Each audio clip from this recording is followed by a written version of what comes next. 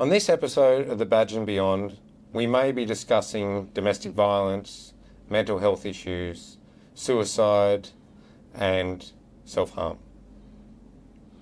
If you would like support uh, and someone to talk to, the right avenues in your local area would be appreciated for you to have a look at those options. Um, please make use of avenues such as Lifeline on 13 11 14 um, and also for domestic violence hotline 1 800 RESPECT. So viewer and listening discretion is advised. Welcome back. This is part two of our episode on racism in policing. Uh, in the first episode, which you hopefully just watched or listened to, uh, we were discussing a number of different things. Some of Danny's experiences, some of the trying to break open the myths that you know law enforcement in the US and Hollywood has created, um, and dived right into some recent politics, which we didn't originally plan on. Um, in this section, I think we really want to talk a little bit more specifically about the overrepresentation of the Aboriginal community in policing, um, in, you know uh, whether it be corrections um, in courts and their interactions with law enforcement. I have had um, a number of positions where I've been interacting with um, people from the Aboriginal Torres Strait Islander community on a regular basis. Um, and honestly, it is, it's quite interesting working with those people. Um, first of all, I will say that um, I think I was nearing the end of my career before I first got any cultural diversity training um, really? to understand, yeah, what you know, how the Aboriginal community felt and what their, you know, how they saw and interpreted things. Um, realised in that training I'd probably been sworn at a few times in um, in certain dialects, um, and so I think a good thing. That was a good thing that. Uh, police were getting that training, but it was kind of far too late. And even though we had ACLOs, uh, Aboriginal Community Liaison Officers, um, I didn't really feel like they I kind of felt like they were out working with the community, but they never really spoke to the cops, you know. Um, but look, I think part of what I want to achieve here today, and we both do, is to help you, the viewer, the listener, to understand both sides um, and hopefully unpack some of those notions you have about um, how members from that community are, are always treated um, and accept things on an individual basis. I have to say, my last command had a large um, Aboriginal community involvement uh, in in that in that pack, that police area command.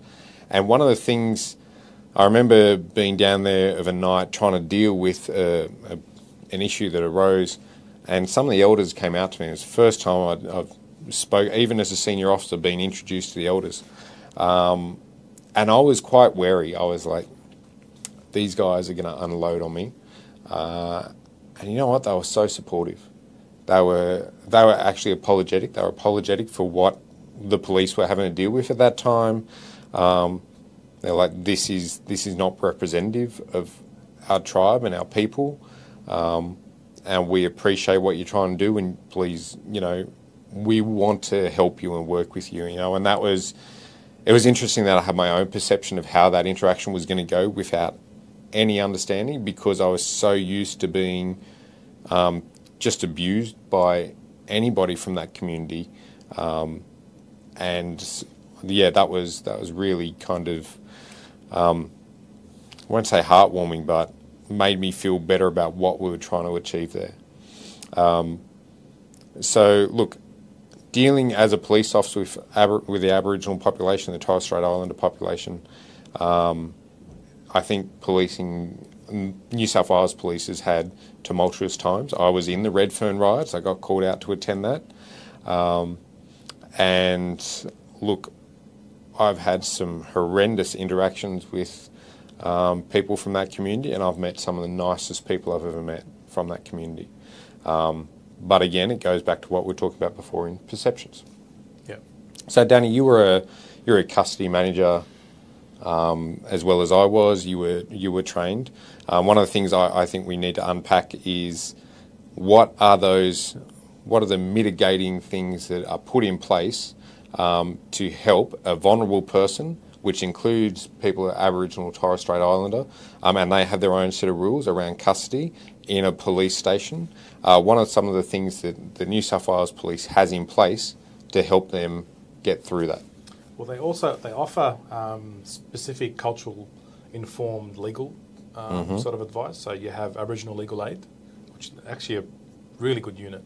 Yep. Um, I did a bit of work in, um, in the consulting space on juvenile detention uh, in terms of repeat offending in breaching AVOs and uh, bail.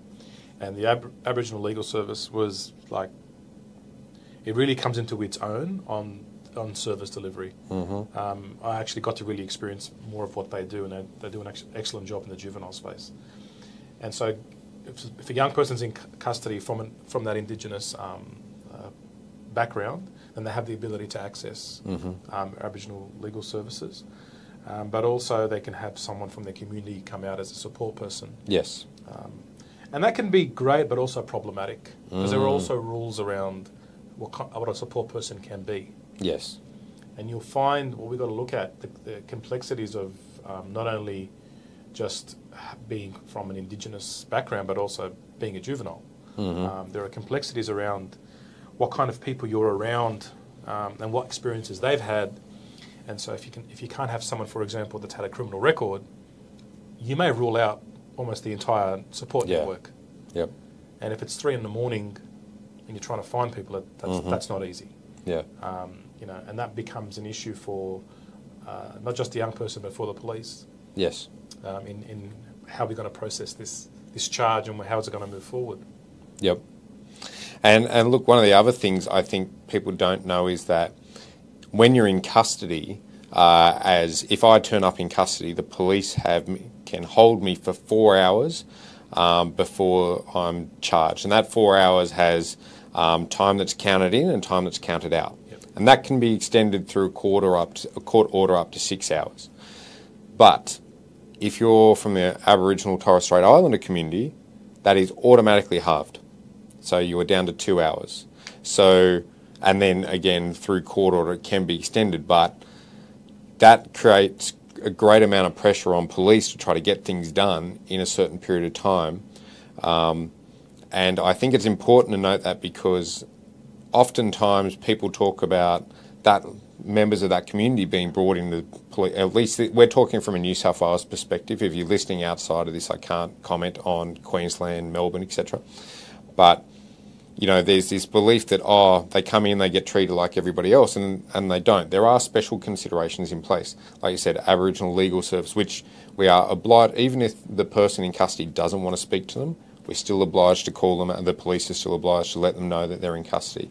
Um, the timeframes are automatic. Uh, the system has it built in, so you get notifications that this person flags as this, and you can only use this, this, and this.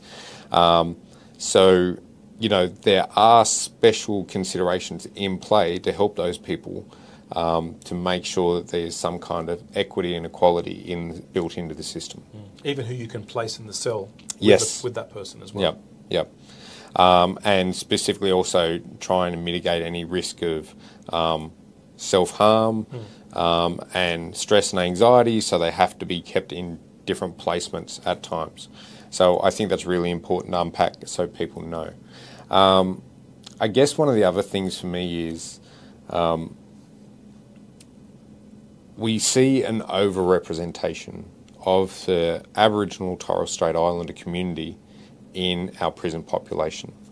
Uh, but from the work I've done in forensic psych and uh, from our own experience, and, and you've done a lot of work in juvenile um, justice as well, um, what I see is that the problem we have with policing that community is that we're being left, we're, the, we're like the last line to pick up the pieces, and we're an organisation that's created to deal with law enforcement.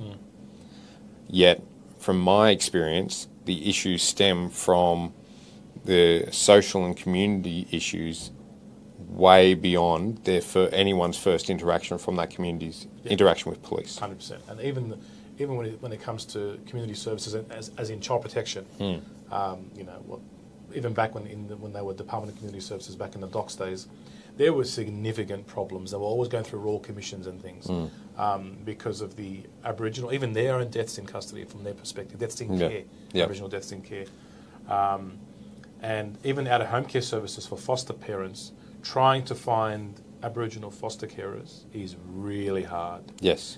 and it's extremely difficult to have an ch- Aboriginal child placed with a non-Aboriginal family, regardless of how fantastic that family could. Yep. be, which again creates another layer of complexity.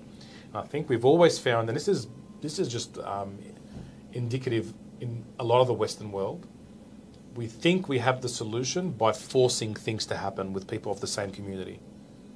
That makes sense. Like you could be a very destructive parent but because you're the same bloodline, then that's fine. We'll put you with this child, Yes. right? And that's that just doesn't work for anyone. Um, but we're so worried, we've gone so the other way. We're overcompensating on you know what issues we've had in our history that we think because we tr- i again historically around the world, you know, with colonialism and what happens, we destroy. Um, we destroy relations with the indigenous community as we come in, right? Yep. It's the same old story everywhere, really, that, where that happens. So then there's marginalisation, there's all these restrictions, but then what we do because we think we're progressive and advanced is we start coming up with all these other strategies later on to overcome that kind of guilt. Hmm. And then people that had nothing to do with it, right? Yeah. Absolutely nothing to do with it, have now a, a part of this little process in trying to redeem what's happened. Hmm. Whether it's reconciliation, whether it's doing your opening address and addressing the traditional owners of the land and the speech, I question, as controversial as that will be, I question the practical support that does to an Indigenous community. And in working alongside Indigenous people in different in the different you know hats I've worn in the world, um, I'm yet to find one Indigenous person that tells me this makes me feel so much better. Yes. and this Yep. really helps. Um, you know, and Australia has definitely has a checkered past, whether it's stolen generation, whether it's um, you know Mabo, all the other things that have happened in our just in our time, right? Um, I don't think we the way we do, uh, come up with a strategy to assist works. Yes. Because we just overcompensate and worry so much about how it looks on the outside, and everyone uses it as a platform to get voted in. Hundred percent. I look at it from my time in child protection. My time as just being an outsider walking into these homes, Yeah, and I've walked into some absolute squalid mess. yeah, You know these, and, and look, I understand there's a lot of nuances and a lot of factors that have brought that that into that home, and that's that's a slightly different conversation. But you know the funny thing for me is because exactly like you say, we don't want to take Aboriginal children out of those environments. We don't have the support networks of the same culture um, to facilitate that. We wouldn't leave.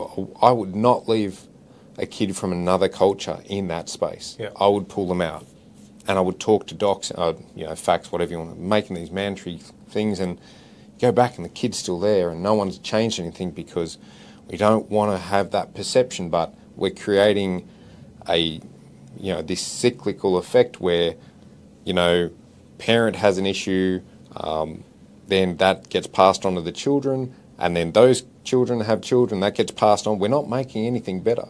I mean one of my big things when i look at that the community and the struggles they face and their overrepresentation in the prison population when i think about it i'm like the studies are quite clear in that what and, if you do jump say to the states it, it's a lot more obvious in when they've done the long-term studies what creates delinquency and long-term offending behaviour.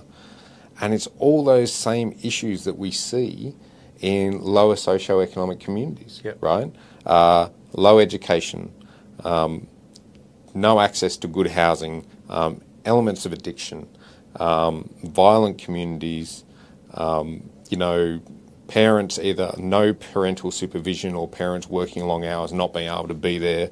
Um, you know, that whole just domestic violence in the home. Um, that escapism that kids try to do because they can't or don't want to be home because there's molestation at home, DV, whatever. Yes, yes. I just and a lack of role models in their close family or in their community um, that they can easily access, and and extracurricular activities and education, you know, and this is what takes me back to the point of if we, if the community, if the government organisations were able to work together to help children before they got on that path, we could break the cycle.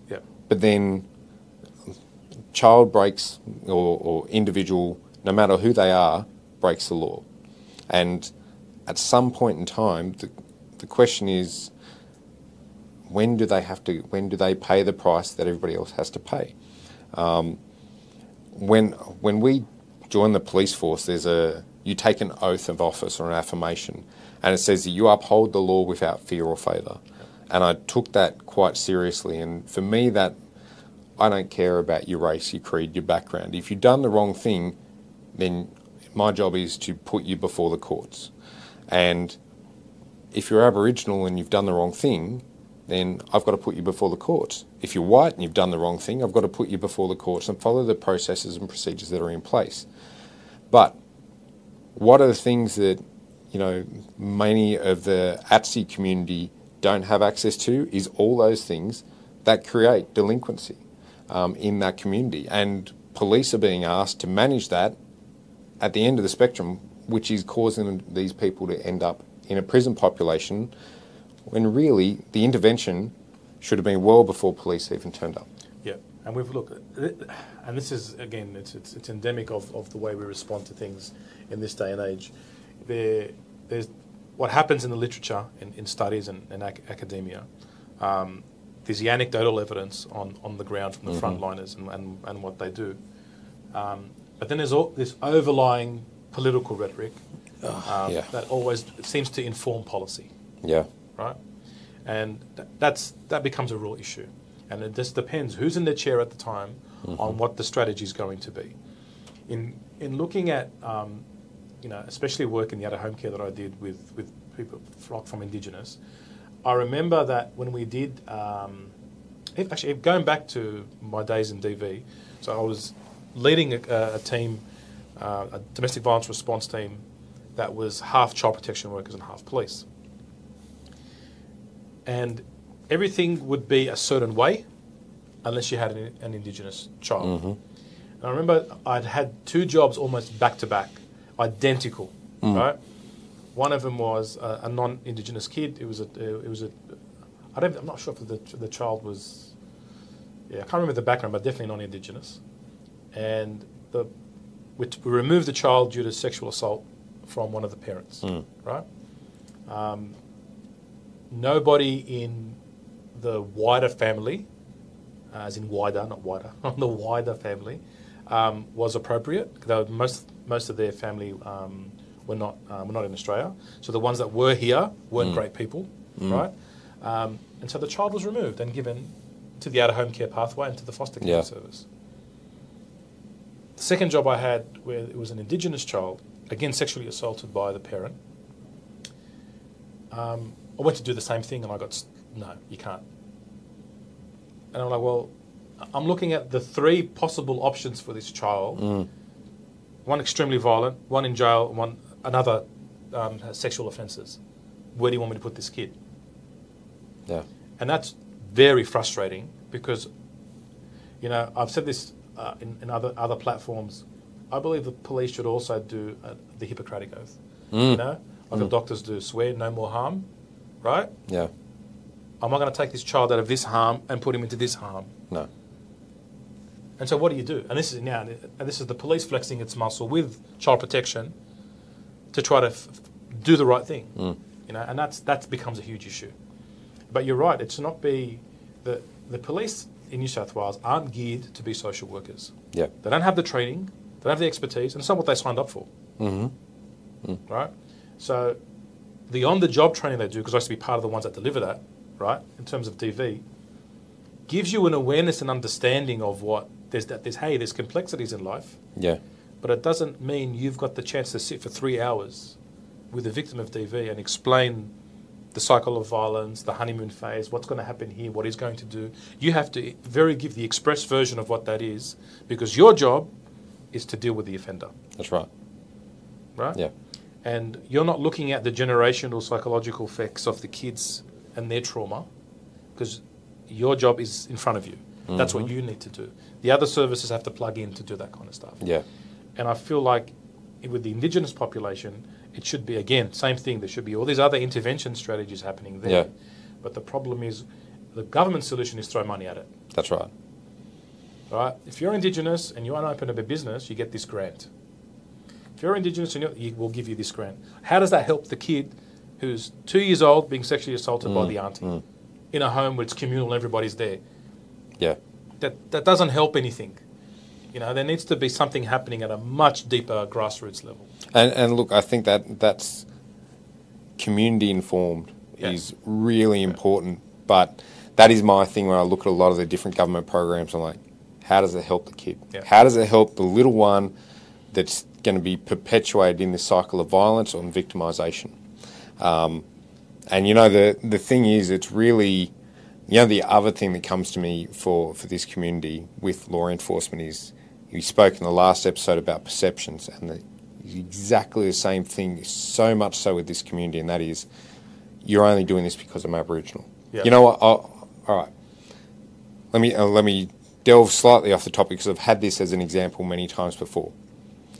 You're driving down the road at night, you know, um, whatever local area command you're at, police area command, driving, you know, you would mark police car, get overtaken by a vehicle at speed, you turn the lights and sirens on to get to pull over. It doesn't pull over, you do a rego check, it's stolen, pursuit's on. 3 a.m. in the morning.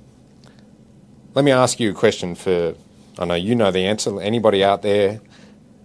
When you drive at night, can you tell the skin colour of the person that's driving that vehicle in front of you? Because I know for 18 years I couldn't.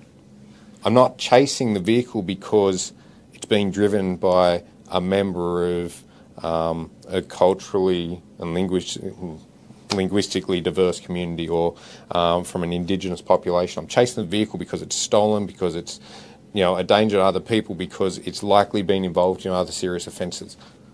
I'm not going after it for the person that's driving because of who they are. Now, that person crashes and the car is a write-off um, and the driver driver's deceased. Is that my fault because I tried to do the job as a police officer? Well, there's a whole bunch of protocols we can go. We'll go into pursuits one day. It's a really good topic. Safe driver policy. But to understand all the things that go into that. But the end of the day, you didn't choose to be the one that stole the car. You weren't choosing to drive at speed. You didn't do all that. You open the door, try pull the, pull the driver out, and it turns out to be someone from a, from a, you know, something other than a white person.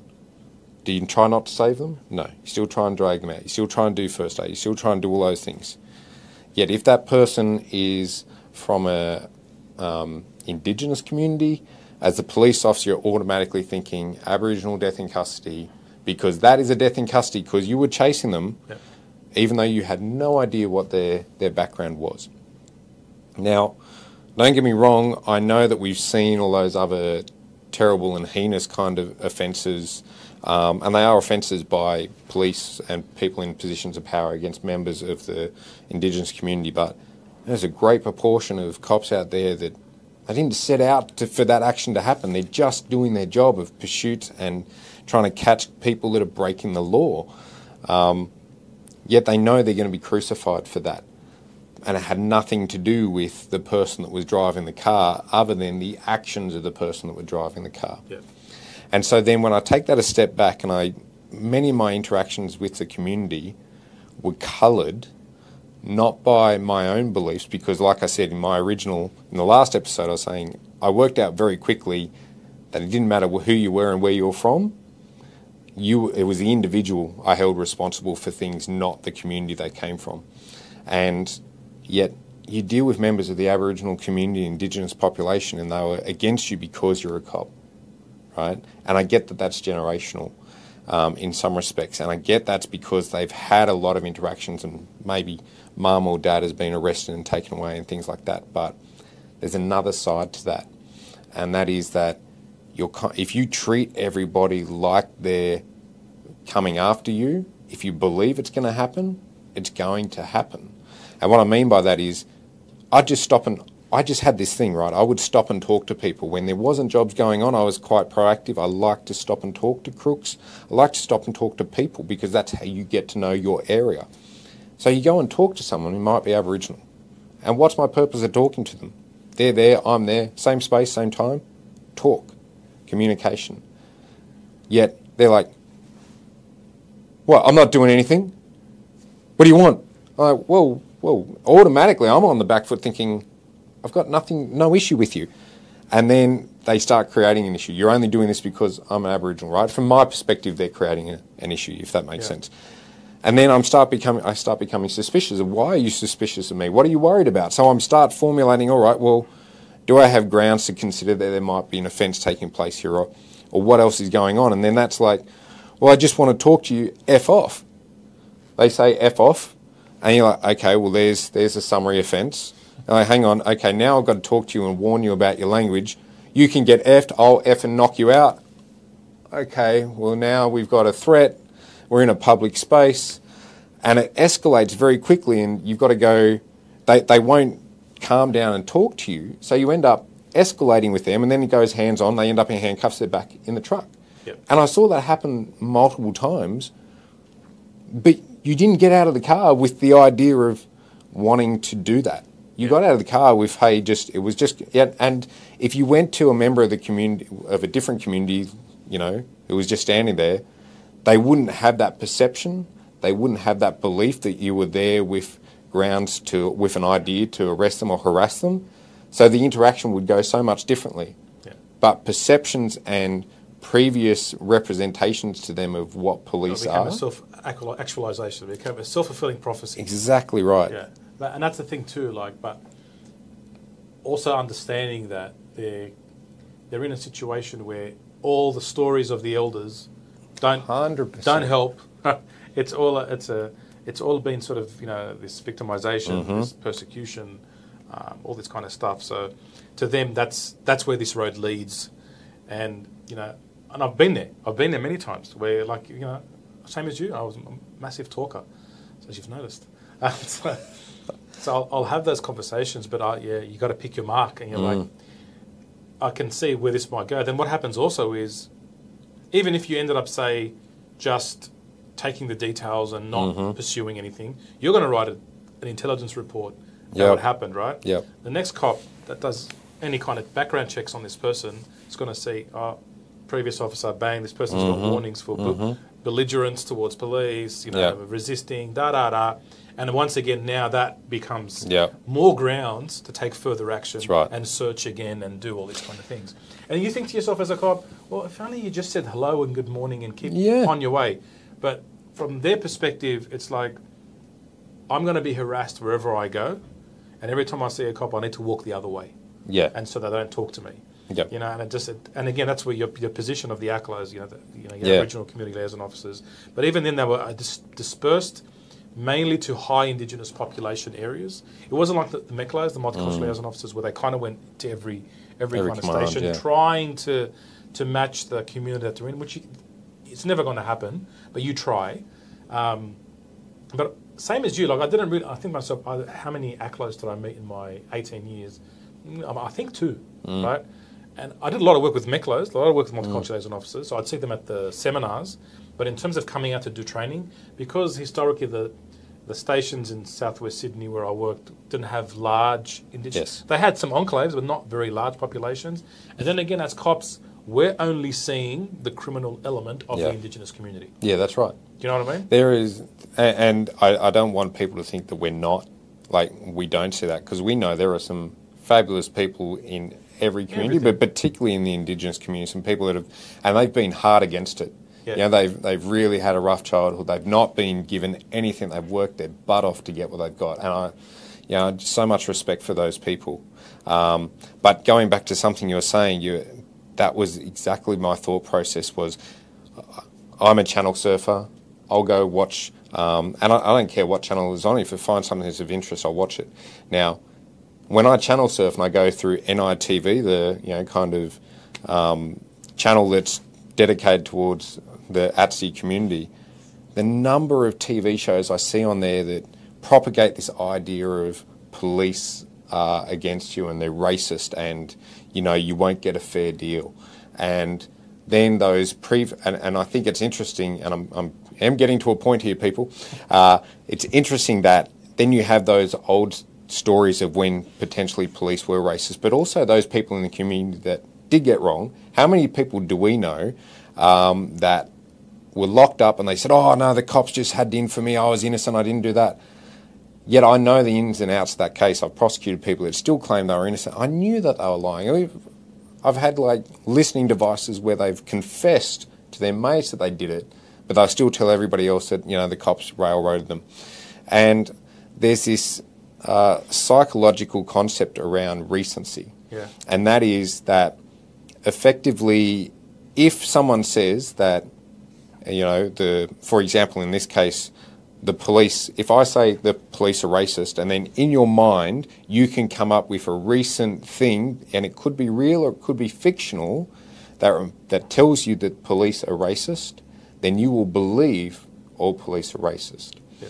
And so what that means is, and even if that's not true, right, the point is, uh, and one of the things they used in the forensic psychology literature was breaking in and personal safety.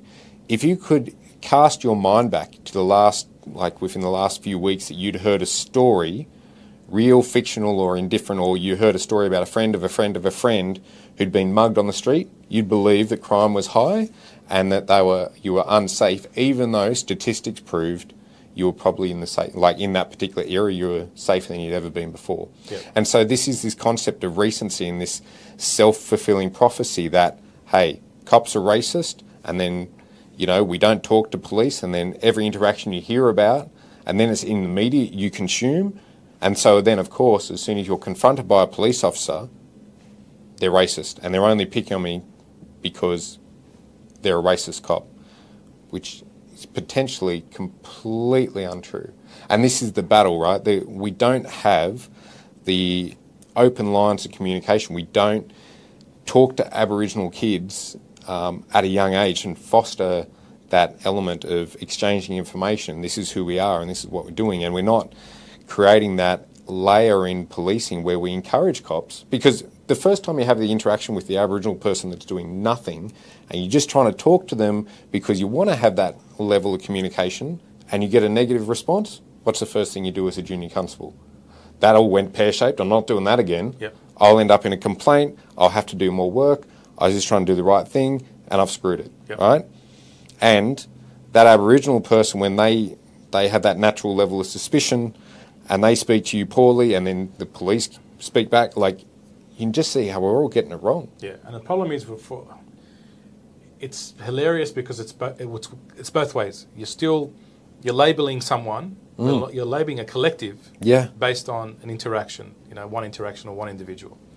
And when you sit in the police car and you're dealing, you're with someone senior to you, and then they're telling you their your views, you know, that crusty senior constable Yeah. that hates everything, um, and then the whole world's out to get him, and TJF. yeah, exactly. TJF. Yeah. The job is effed.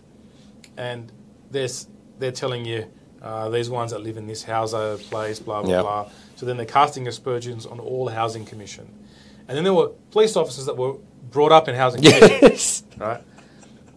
And, and so you're like, it's so funny. Like, Yeah. you're doing the same thing. Mm. You're doing the same thing. So then, like, you're, you're trying. I remember when I do education to, to police officers, I'd be like, just try not to absorb that cynicism, Yeah.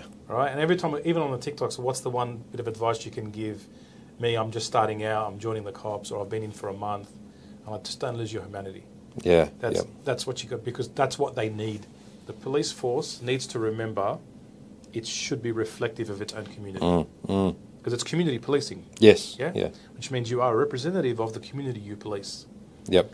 So if, as long as you think everyone else is the other, Mm-hmm. okay, then you will keep you'll have the loyalty hopefully to yourselves, um, but then you see the community as just a burden, Yeah. as this thing you need to keep at bay, right? When that's not the whole point of policing in a society, Mm. and that's the issue. We we can't afford to lose the humanity in the equation, because there needs to be that empathy in the delivery of what you do. you're the same person that's going to deliver a death message to, to someone. You're the same officer, Yeah. Right? Where you're going to give the most horrific news to someone's loved one, right? Yeah. um, uh, you're going to give them the worst news of their life. That same human being is also needs to be able to, you know, grab a very violent offender, Yeah. you know, of someone they're supposed to protect, care, and protect, and also in, deal with someone who's 15 years of age, who's had a very tough life, who didn't pay a train fare because they can't get a job, and then there's complexities, Yeah. you know, and Yeah. The, the law is black and white, yeah, yet there's thousands of shades of grey in between that, which they they just can't train you for. Yeah, exactly, and that's what it is. It's about being all right. Be broad. Mm. Under, you have to be very tolerant and understanding in what you're, you're looking at, because and the reason is why because well, you're the person who's trained in this equation. You've been given allegedly enough skills Yeah. and resources and tools on your belt um, to be able to handle anything. Yeah. Right? That's that's kind of what they're telling you. And when you look at it, it's quite it is quite ludicrous, but it is what they're telling you. Yeah. They're telling you you sit in that car because the car the world doesn't see your rank. The world doesn't see how many years of experience. No. It sees a marked police car turning up to a job. You're there to get it done. Yeah. It could be your second day. It could be your your last day in 25 years of service. Community doesn't know. They just know you've turned up. You're expected to handle this. Yeah, yeah. I think. Um, look, I know there's a there's a few cops that watch and listen to us, um, and one of the things I would say that I see when I when I have those interactions with people, I don't care which part of the community they're from, uh, black, white, pink, purple, uh, Middle Eastern, you know, Chinese, whatever. Um, I, I kind of took that as a, geez, I screwed the pooch on that one. I've, I've got to go practice, right? So I try to go talk to more people. Um, but one of the things I found that worked really well, and it's a good phrase because I think it appeals to people, was when someone would get uppitish at me, um, or you know start screaming at me, or like, and it was going south for no reason. I'd say, look, you show me respect, I'll show you respect. I will meet you at your level, and that point of respect catches a lot of people because ultimately everybody kind of wants to be treated with respect Yeah. and they they often feel that police are disrespecting them so when you take it back to that point of I will meet you wherever you set the bar and I'm showing you respect and then I'll say to them I often like I would call them out and say look and I'd use the term brother I'm like brother am I am I yelling at you then why are you yelling at me and have I sworn at you then why are you swearing at me we're just in this together. Let's just talk it out. And I understand that you're having a bad day, but let's let's go through it. And it was surprising how well that worked. And honestly, when that didn't work, it was going to go hands on. It Yeah. was kind of like that point where someone was not going to be talked around if you try that kind of approach once or twice, and they just keep escalating. You you're going to end up going hands on.